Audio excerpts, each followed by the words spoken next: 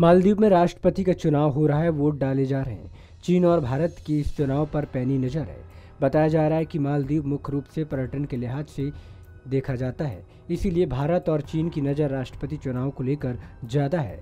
अंतर्राष्ट्रीय पर्यवेक्षकों और विपक्षी दलों ने आशंका ज़ाहिर की है कि ये चुनाव निष्पक्ष और पारदर्शित नहीं होंगे।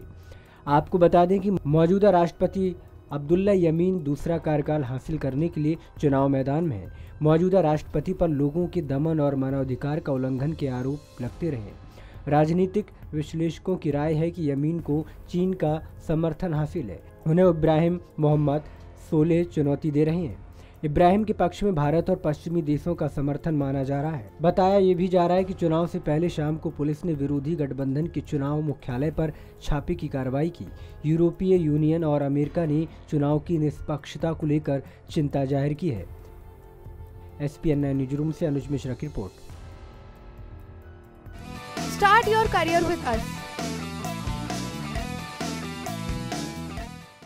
अगर आप भी बनना चाहते हैं एंकर और रिपोर्टर वीडियो एडिटर कैमरामैन या स्क्रिप्ट राइटर तो हमें संपर्क करें